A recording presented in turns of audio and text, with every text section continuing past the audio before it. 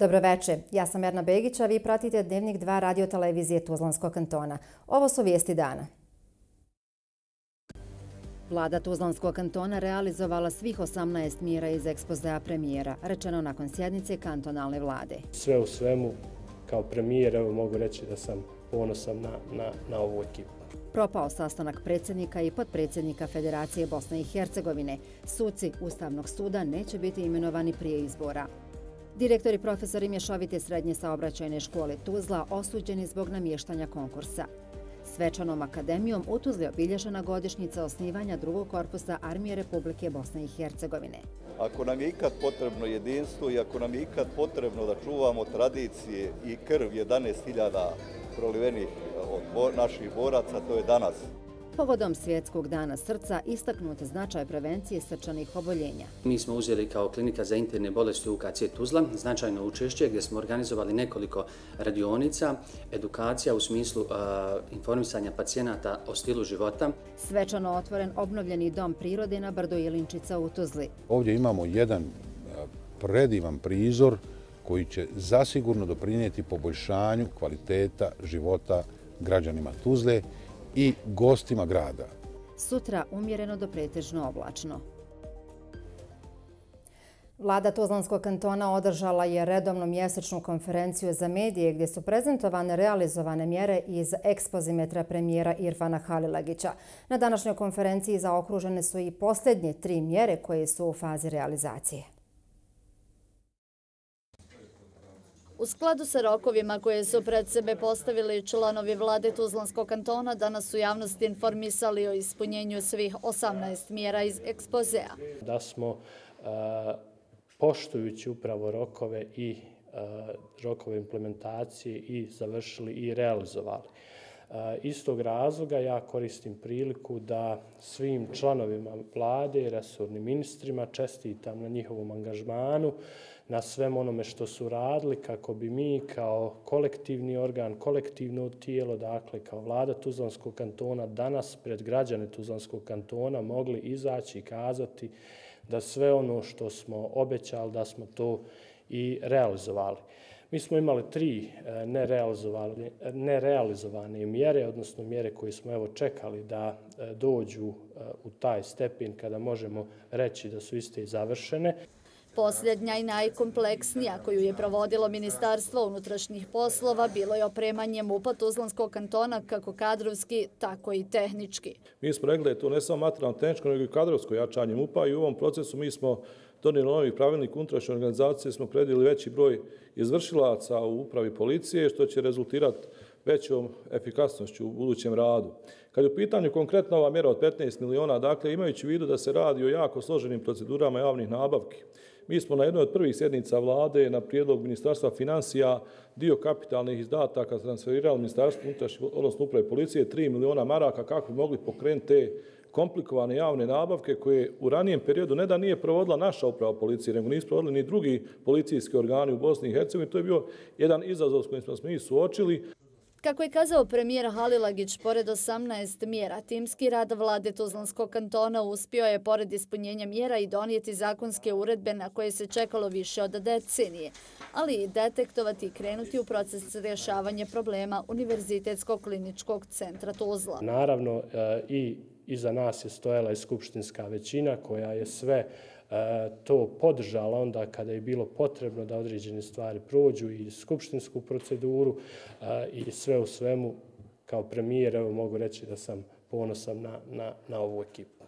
U realiziranim mjerama su naknade za porodilja od 1000 konvertibilnih maraka i povećanje dječjeg doplatka za 50%, povećanje plata u oblasti obrazovanja, uvećanje egzistencijalnih naknada za demobilisane borce, povećanje naknada za oboljeli od celijakije te stipendiranje nadarenih učenika i besplatni učbenici. Kompletnu mjesečnu konferenciju za medije vlade Tuzlanskog kantona možete pogledati u našem programu odmah nakon dnevnika. A premijer Tuzlanskog kantona Irfan Halilagić i ministar za trgovinu, turizam i saobraćaj Mustafa Šakić posjetili su danas kompaniju TT u energetiku Tuzli. Bila je ovo prilika da se iz prve ruke upoznaju sa potencijalima i mogućnostima ove kompanije koja se sigurnim koracima vraća na staze stare slave.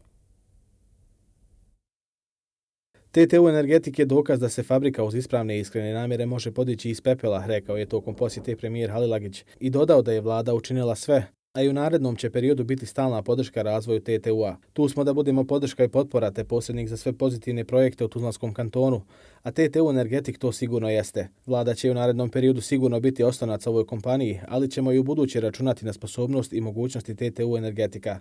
U tom smislu voljeli bismo ovu kompaniju u narednom periodu vidjeti u okvirima namjenske industrije. Takav iskorak bi domaću pamet i vještine stavilo u službu prije svega domaće sigurnosti, a onda istjecanje profita, kazao je danas premijer Halagić, dodajući da je vlada spremna da i druga tržišta pored polja energetike spaja sa TTU-om. Tu mislim i na polja poput obnovljivih izvora energije i automobilske industrije, zaključuje Halilagić. Direktor kompanije Almir Zulić je premijeru Halilagiću i ministru Šakiću prezentirao potencijale kompanije. Prošlu godinu TTU Energetike je okončao sa 14,7 miliona konvertibilnih maraka neto realizacije. Trenutno upošljavamo 170 radnika sa prosječnom plaćom koja je iznad prosjeka Federacije Bosne i Hercegovine. Analizirajući kompletne uslove poslovanja, postignute rezultate, perspektive budućeg razvoja, sa sigurnošću možemo reći da je TTU Energetik postao jako atraktivan poslodavac na tržištu rada. Ukratko je prezentirao kompaniju direktor Zulić, izražavajući zahvalnost za današnju posjetu, jer po njegovim riječima vlada Tuzlanskog kantona je uvijek bila pouzdan partner TTU-a, a i pratila je i podržavala njegov rad.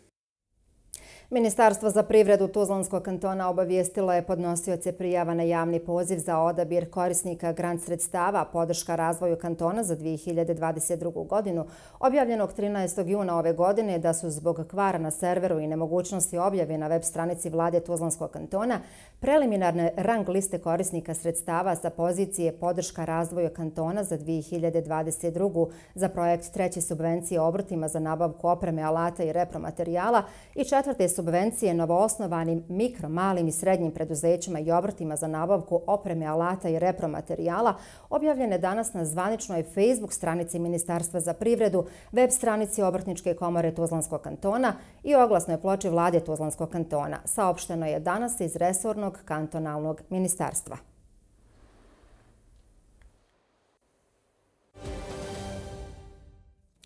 Pokušaj konačnog imenovanja sudija Ustavnog suda Federacije Bosne i Hercegovine propao je još jednom, nakon što je predsjednik Marinko Čavara odbio imenovati sudije prije izbora ukoliko se podpredsjednici ne usaglasi sa njegovim prijedlozima. Čavara je proteklog mjeseca donio odluku o imenovanju sudija koji nedostaju u Ustavnom sudu Federacije Bosne i Hercegovine. Predložio je četiri imena, neuvažavajući pritome prijedloge podpredsjednika i nedogovarajući predložena imena sa njima. Predsjednik Federacije Bosne i Hercegovine i podpredsjednici danas su održali sastanak uz posredstvo Evropske unije i OHR-a kako bi razgovarali o konačnom imenovanju. Sastanku je prisustvovao i ambasador Evropske unije Johan Sattler. Na kraju sve bez rezultata.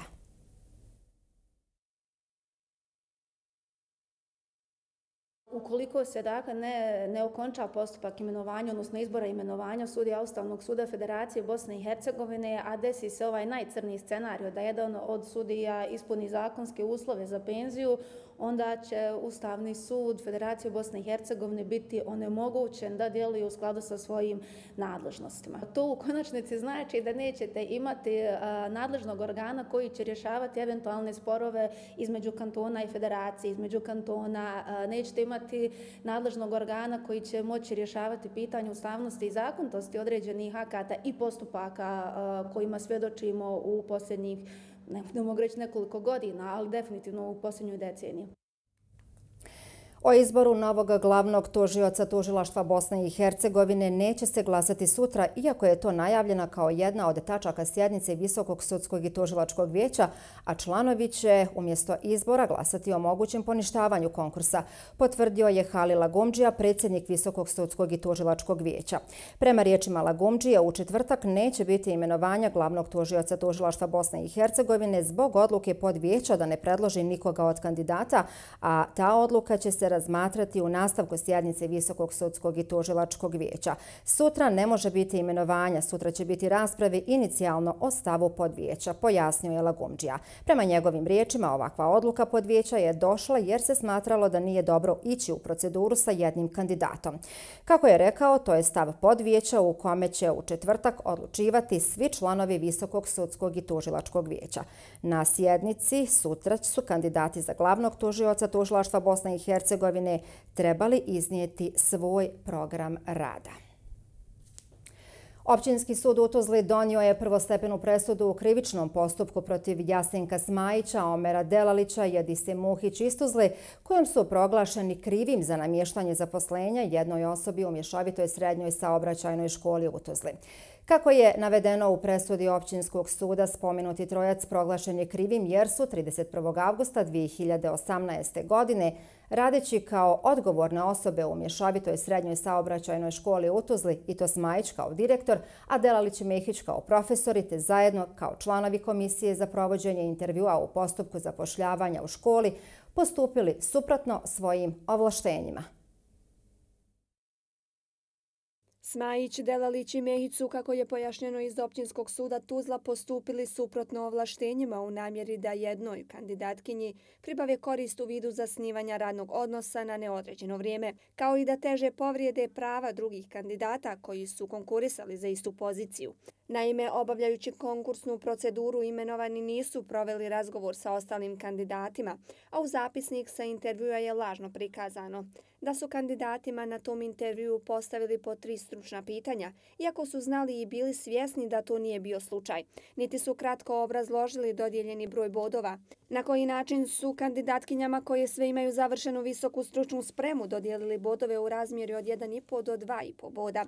S druge strane, kandidatkinji koja ima završenu srednju stručnu spremu dodijelili su maksimalno 3 boda, čime su teže povrijedili prava ostalih kandidatkinja, jer su ih onemogućili da ravnopravno učestvuju u konkursnoj proceduri i na koji način su jednu kandidatkinju stavili u povoljniji položaj na rang listu kandidata. A temeljem koje liste je 5. septembra 2018 godine, direktor škole donio odluku o prijemu kandidata u radni odnos kao saradnik za ekonomsko-financijske poslove na puno i neodređeno radno vrijeme.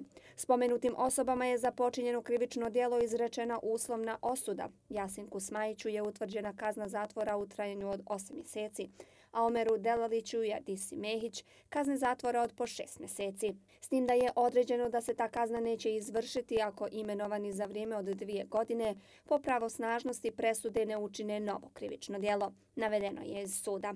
Smajiću je izrečena sigurosna mjera zabrane vršenja dužnosti direktora u Mješovitoj srednjoj saobraćenoj školi u Tuzli, kao i svim drugim osnovnim i srednjim školama u Bosni i Hercegovini, u trajanju od dvije godine. S obzirom na to da je riječ o prvostepenoj presudi koja nije pravosnažna. Stranke će imati pravo na žalbu.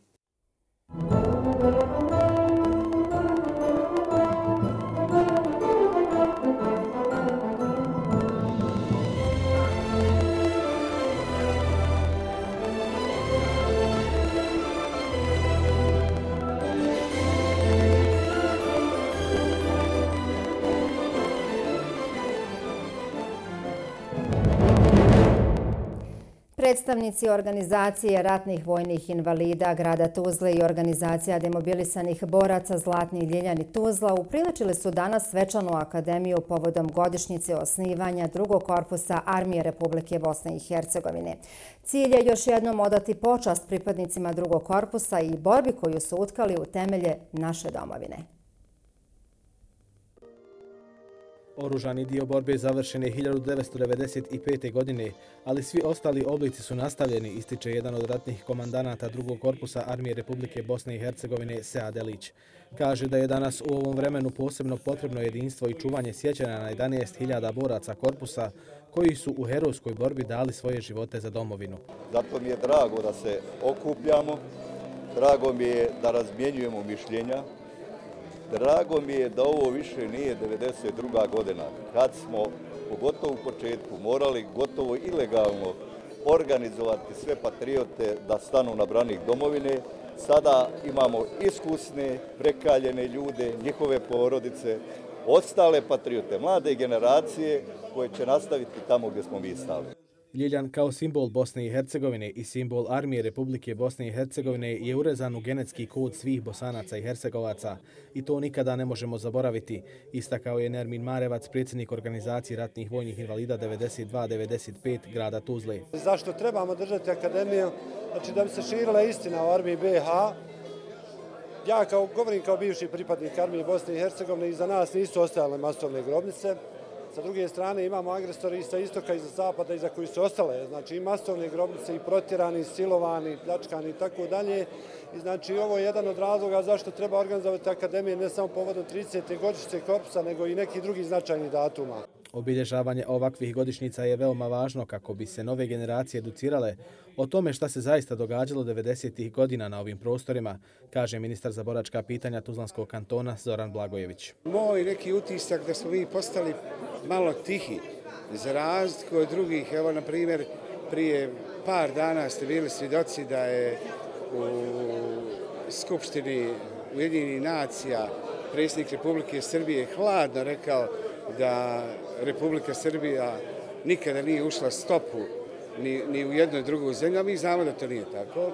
I ako ništa radi, radi takvih stvari, da ne dobijemo neku novu istinu i neku istinu koja, koja nije zapravo tačna.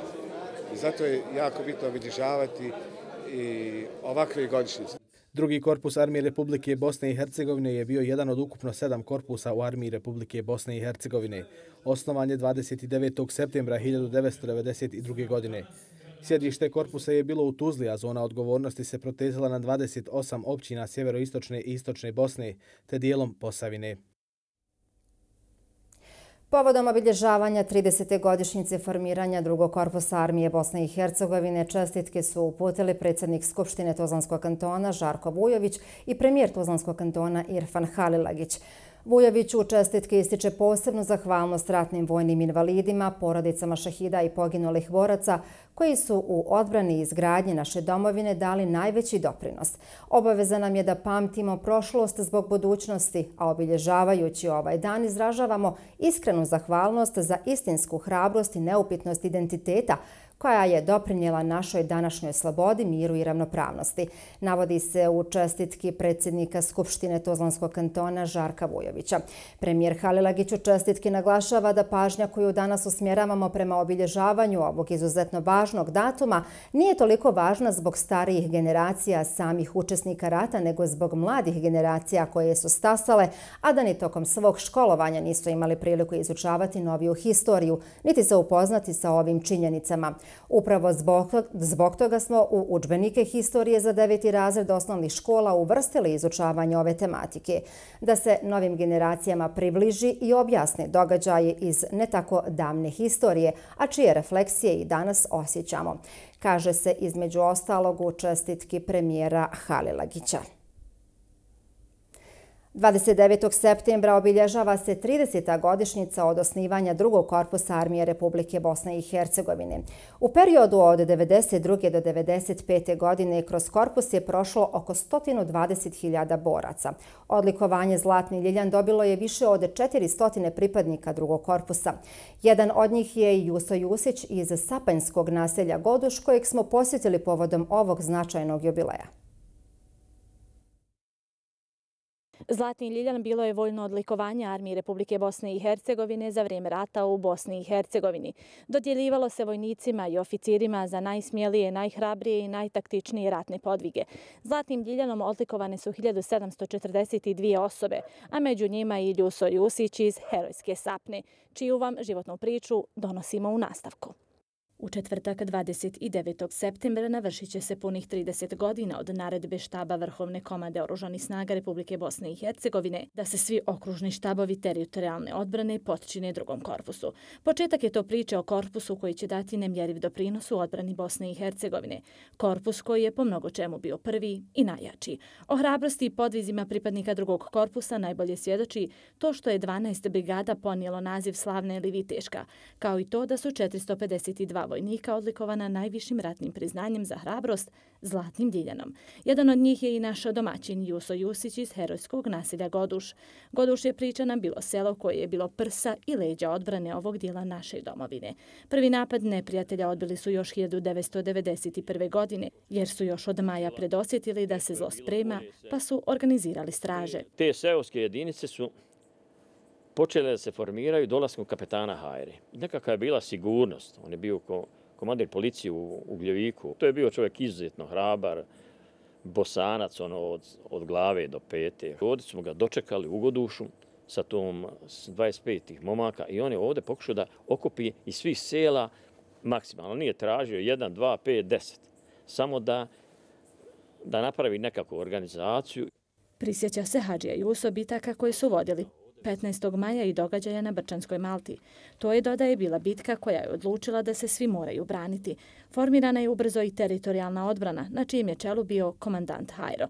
Na spomen imena Hajrudina Mešića glas našeg sagovornika postaje tiši. Bili su bliski saradnici, a noć prije njegove pogibije proveli su zajedno dobro raspoloženi, priča nam. Pojašnjava da u stasu i stavu još jednog zlatnog diljana vidi heroja kapetana Hajru. Bio je nam ovaj, naš prijesednik Komšić, u Teočaku. Otišli smo da pozdravimo njega kao čovjeka, kao zlatnog Ljiljana, kao heroja, gdje me posjeća, baš, baš me posjeća na, na, na lik Hajri svojom odvažnošću, hrabrošću, da voli državu.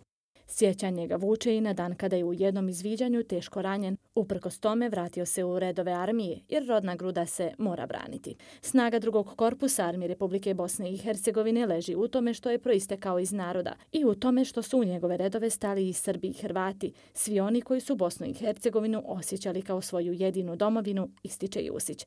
Sjeća se i dana kada je upoznao sadašnjeg ministra za boračka pitanja Tuzlanskog kantona Zorana Blagojevića, bitaka u kojima su zajedno bili. Priča nam i o posjeti prvog predsjednika Republike Bosne i Hercegovine, Alije Izetbegovića i poruke koja mu je ostala urezana. Posle pada Srebrenica, on je pozvao nas sve te koji su bili u bojici stariješni ili nešto. I baš je poručio, kaj, nemojte da se svetite. Nemojte da sačuvajte to što ste imali u Tuzli. Govorilo se malo, Tuzla je ipak specifikum bio u odnosu i na Zenicu, i na Sarajevo, i na Bihać. Dobar Bihać je bio tamo, je, ali u Tuzli baš bilo, znači, Hrvati, Srbi i ostali uključio se prilično u odbranu Bosne i državi. Država Bosna i Hercegovina će opstati, ističe naš sagovornik, a svima koji njenu opstojnost dovode u pitanje, poručuje. Što se tiče rata, dok smo mi ovde i ovi ovakvi koji svi imaju iskustva, mi smo baš bez ničega krenuli. Nema te sili na jednoj strani sa zapada i sa istoga, ni da bi smjeli, ni da bi mogli proći. Naša armija ovde, ovo što ima sad, kakva god je, milion puta smo jači nek što smo bili. A bili smo armija satkana od ljubavi naroda prema domovini. Armija koja je opstala pred četvrtom vojnom silom, a onda počela uzdizanje i velike pobjede. I ono najvažnije, bila je ostala armija o čijoj se časnoj borbi i danas s ponosom priča. 30. godišnjici formiranja drugog korpusa armije Republike Bosne i Hercegovine, vojne sile koja je tokom agresije na Bosnu i Hercegovinu imala najveću zonu odgovornosti, posvetili smo večerašnju emisiju Aktuelno. Akcenat je na problematici boračke populacije u Tuzlanskom kantonu. Sa gostima ćemo otvoriti pitanja koja po najviše tište kako borce, tako i članove njihovih porodica. Gosti emisije su Irfan Halilagić, premijer Tuzlanskog kantona, Zoran Blagojević, ministar za boračka pitanja Tuzlanskog kantona, i Fahrudin Hasanović, predsjednik koordinacije boračkih udruženja Tuzlanskog kantona i predsjednik Saveza ratnih vojnih invalida Tuzlanskog kantona. Emisija je na programu od 20 sati. Zasjedala je danas Komisija za poljoprivredu, vodoprivredu i šumarstvo Skupštine Tuzlanskog kantona. Usvojena je odluka o dopuni programa novčanih podrški u poljoprivredi i ruralnom razvoju u 2022. godini. Evo i na što se izmjene odnose. Dopuna programa novčanih podrški u poljoprivredi i ruralnom razvoju za ovu godinu donila je nekoliko izmjena. Ključna je ona koja se odnosi na pitanje ko može ostvariti poticaje iz ovoga programa. Izmjenama koje su danas usvojene na sjednici Komisije za poljoprivredu, vodoprivredu i šumarstvo Skupštine Tuzlanskog kantona predviđaju ovo pravo i za pravna lica i obrte. Inače, ovaj program se najvećim dijelom odnosi na proizvodnju voća. S obzirom da smo u našem programu za ovu godinu bili predvidjeli samo da mogu se prijaviti e, lica, fizička lica za podršku u proizvodnji voća, a to nije do sad bila praksa. Ljudi su zbog loše informisanosti propustili rokove za federalni nivo i na neki način mi smo i danas izašli u susred da ipak ne ostanu bez podrške, e, novčane podrške u proizvodnji voća. Ovakva odluka je dobrodošla, naročito ako uzmemo u obzir u kojoj mjeri su poljoprivredni proizvođači suočeni sa poskupljenjima kada je u pitanju celokupna poljoprivredna proizvodnja. Podsjećamo, za podršku poljoprivredi vlada Tuzlanskog kantona je za ovu godinu osigurala 10,8 miliona maraka. U nastavku dnevnika. Povodom Svjetskog dana srca istaknut značaj prevencije srčanih oboljenja. Mi smo uzeli kao klinika za interne bolesti UKC Tuzla značajno učešće gdje smo organizovali nekoliko radionica, edukacija u smislu uh, informisanja pacijenata o stilu života. Svečano otvoren obnovljeni dom prirodi na Brdu Ilinčica u Tuzli. Ovdje imamo jedan predivan prizor koji će zasigurno doprinijeti poboljšanju kvaliteta života građanima Tuzle i gostima grada. Sutra umjereno do pretežno oblačno. U susret Svjetskom danu srca na internoj klinici Univerzitetskog kliničkog centra Tuzla upriličene su brojne aktivnosti. Obilježavanjem Svjetskog dana srca želi se informisati javnost o bolestima srca i srčanom udaru, od kojih svake godine umire oko 20 miliona ljudi u svijetu. Koristi srce preporuka je Svjetske federacije za srce u cilju korištenja srca za sebe. Kardiovaskularne bolesti su bolesti modernog doba, nezdravog načina života i veoma često su povezane sa niskim nivom zdravstvene kulture i prosvećenosti. Načelnik interne klinike UKCA Tuzla, dr. Mirsa Celimović, ističe da je predominantna problematika kardiovaskularnih oboljenja na području Tuzlanskog kantona. Kardiovaskularne bolesti su također nosioci morbiditeta i mortaliteta također na Tuzlanskom kantonu. Kada je u pitanju klinika za interne bolesti, mi na mjesečnom nivou pružamo negdje oko 25 do 30 hiljada usluga, a na godišnjem nivou to je cirka negdje preko 300 hiljada usluga, ne samo kardiovaskularnih bolesnika, nego i svih drugih e, internističkih grana i srodnih disciplina. S tim u vezi, dakle, predominantna je problematika kardiovaskularnih oboljenja, a naravno značajno učešće imaju komorbiditeti kod takvih pacijenata i ishodi koji slijede u okviru toga.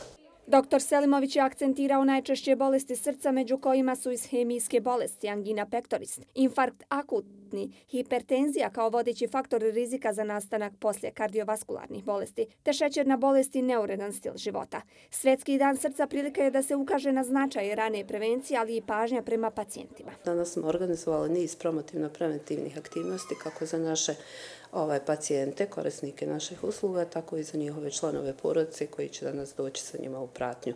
Danas su uključene u te aktivnosti naše, posebno moram da istaknem, naše medicinske sestre i tehničare iz odjela kardiologije i odjela intenzivne terapije i njege zajedno sa našim ljekarima, kardiolozima. Potpuno besplatno mjerenje ovaj, šećera, krvnog pritiska, ovaj, lipida, odnosno eh, lipidnog statusa, mjerenje tjelesne težine, kao i besplatno mjerenje krvnog pritiska uz niz promotivno-preventivnih savjeta. Danas je Svjetski dan srca, ove godine pod parolom Use heart for every heart, znači koristimo srce za svako srce.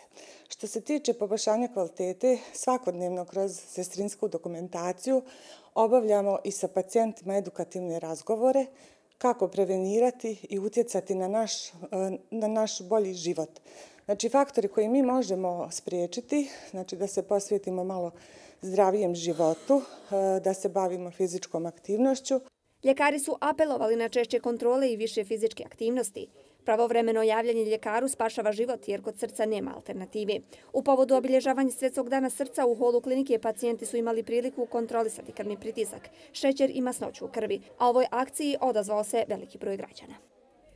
I narednom pričom ostajemo u zdravstvu. Univerzitetski klinički centar Tuzla insistira na kontinuiranim edukacijama mladih ljekara, kako onih koji su zaposleni u ovoj zdravstvenoj ustanovi, tako i onih koji dolaze iz drugih.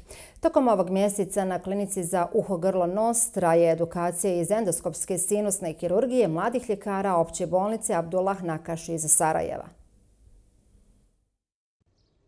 Klinika za otorinolaringologiju Univerzitetskog kliničkog centra Tuzla tokom septembra vrši edukacije iz oblasti endoskopske sinusne hirurgije. Nakon što je opšta bolnica Abdullah Nakaš dobila opremu za takvu vrstu zahvata, ali nisu imali ljekare koji bi mogli izvoditi takvu vrstu operacija. Klinika za bolest uha, grla i nosa UKC Tuzla je centar za specializacije za dio dakle, specijalističkog staža za kolege iz kantona našeg a također i iz ostalih kantona Federacije Bosne i Hercegovine. Prije svega dolazili su iz Zenice, iz Bihaća, evo sad iz Sarajeva. Radi se dakle o edukaciji iz domena otorinolaringologije. Sve one ostale specializacije kao što su pedijatrija, opća medicina, urgentna medicina imaju nešto manji obim i program dakle, svog specijalističkog staža i oni isto tako provode ovdje određeno vrijeme pod našim mentorstvom. Ljekari Zumreta i Bojan će nakon edukacije moći obavljati ovu vrstu zahvata u Sarajevu, što će velikom broju ljudi olakšati dalji život. Mi smo e, još u Duban nekako prije korone dobili opremu za sinusnu hirurgiju, za endoskopsku hirurgiju sinusa, obzirom da se u našoj ustanovi to ranije nije radilo, bila je potrebna edukacija iz te oblasti. E, kolege su i ranije dolazili, recimo kolega Bojan Jurišić već ranije dolazio u klinički centar Tuzla na edukaciju, dao preporuke, stupili smo u kontakt sa ovaj, menadžmentom kliničkog centra, sa načelnikom, dobili smo pozitivan odgovor i evo nas došli smo tu na edukaciju. Endoskopska sinusna hirurgija je nešto što je zlatni standard i klasične operacije su, ajmo reći, zastarjela metoda, ovaj, iako imaju neke određene prednosti, ali eh, prednost eh, generalno se stavlja endoskopiji.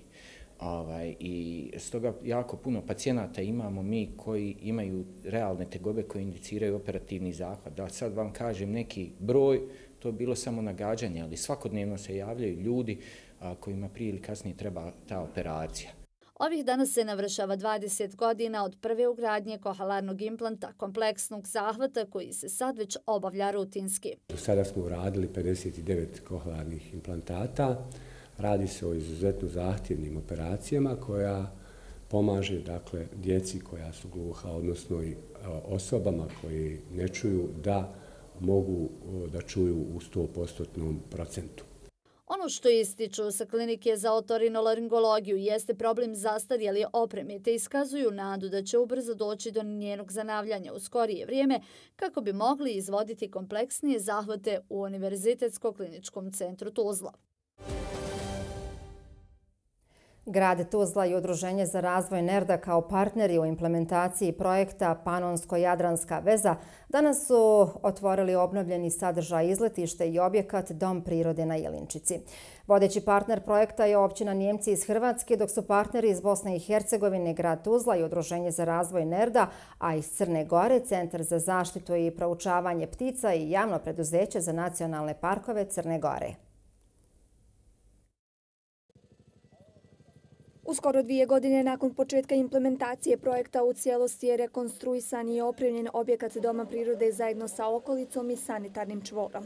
Uređena je edukativno-biciklistička staza u dužini od oko 4 km, koja je označena odgovarajućom signalizacijom i na kojoj su postavljene edukativne table sa informacijama o flori i fauni izletišta Ilinčica. Gradonačelnik Tuzle Jasmin Imamović zadovoljan je uređenjem Ilinčice. Osvojili evropska sredstva, uredili kuću, uređenje ove kuće, potpuna njena adaptacija je koštala 315.000 maraka. Ovih ostalo 300.000 maraka koje smo, koliko smo mi dobili sredstava zajedno sa općinom Nijemci i sa nacionalnom parkom e, Crne Gore, smo uredili rasvjetu, uredili i to savremene led rasvjetu, uredili 16 piknik lokacija, vidjeli ste i pametne klupe širom Tuzle, vidjeli ste i ono volim Tuzlu na Korzu, opremu, vršili edukacije, eh, tako da ovdje imamo jedan eh, predivan prizor. Gradonačelnik Imamović stava je da će uređeno izletište Ilinčica zasigurno doprinijeti poboljšanju kvaliteta života građanima Tuzle, ali i upotpuniti turističku ponudu Tuzle. Zadovoljstvo uređenjem dijeli i načelnik Hrvatske općine Njemci, inače partner projekta. Izuzetno sam zadovoljan E, sa svim odrađenim projektnim aktivnostima koje su evo i sa strane e, grada Tuzle, Bosne i Hercegovine i sa, sa Crnom Gorom i općinom Njemci. Mi smo pri kraju svih projektnih aktivnosti i mislim da će zasigurno u roku od kojim je i zadan biti sve projektne aktivnosti e, gotove i završene. Što se tiče same Linčice, vrlo lijepo E, izletište i zasigurno da će svim e, mještanima, to je građanima grada Tuzle, ali isto tako i njihovim gostima koristiti za odmor i rekreaciju. Dvije godine nakon implementacije projekta smo uspjeli rekonstruisati kuću na Ilinčici, izgraditi 16 mikropiknik lokacija, tri vidikovca, biciklističku stazu koja je označena signalizacijskim znakovima i edukativnim tablama. E, zatim izgraditi znak I love Tuzla i šest solarnih klupa postaviti u gradu Tuzla. E, mi smo naravno radili druge dodatne stvari koje su planirane aktivnostima projektom. Ovaj projekat traje još tri mjeseca. Planovi su da se na Ilinčici nabavi 20 bicikala koje će građani moći koristiti. Rekonstrukcijom Ilinčice namjera je posjetiocima učiniti ambijent ugodan za boravak.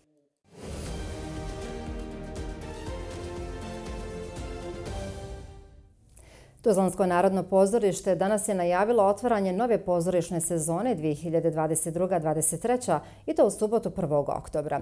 Otvaraju je dvije predstave s kojima je Narodno pozorište u protekloj sezoni zabilježilo veliki uspjeh. Riječ je o komadima Snjeguljica i Čudno ogledalo za koju je adaptaciju teksta i režiju potpisao glumac Mihat Košljugić te Hamlet autora Viljama Šekspira u režiji Zlatka Pakovića. Uz bogat repertoar u narednim mjesecima i tri nove premijere iz Narodnog pozorišta pozorišta Tuzla najavljuju uzbudljivu pozorišnu jesen.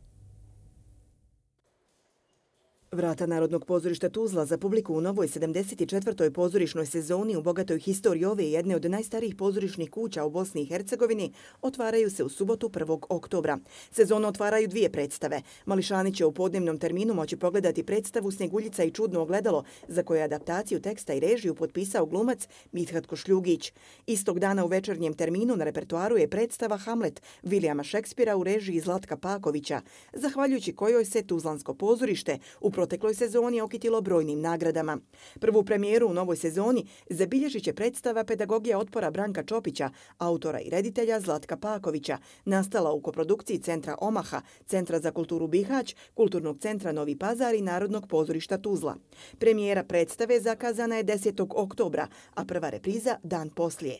Prvi je ovo korak ka osnivanju pozorišta u Bihaću uz veliku podršku Narodnog pozorišta Tuzla. Nama je zaista čast i zadovoljstvo što smo bili dio pokretanja pozorišne scene e, e, krajine i što će evo taj e, vrlo često zapostavljeni dio Bosne i Hercegovine e, dobiti pozorište kako zaslužuje. Kao druga premijera u novoj sezoni najavljena je predstava Dijelitba po tekstu Skendera Kolenovića u režiji jednog od najvećih dramskih pedagoga sa ovih prostora, Miralema Zupčevića. Premijerom ovog komada u novembru biće otvoreni Tuzlanski pozorišni dani, koji će i ove godine u Tuzlu dovesti najbolje domaće i regionalne pozorišne predstave. Najavljena je i premijera dječje predstave Mačak u čizmama. Imajući u vidu trenutnu ekonomsku situaciju, menadžment Narodnog pozorišta Tuzla donio je odluku i o korekciji cijena pozorišnih karti za predstojeću sezonu. U vremenu kada sve poskupljuje, kada inflacija prijeti da ugrozi e, osnovnu egzistenciju e, velikog broja ljudi u, u, u našoj zemlji, mi smo se odlučili da, da idemo u drugom smjeru kako bismo ljudima olakšali. E, pozorište ne treba da bude e, nedostižno prosječnom građaninu Bosne i Hercegovine.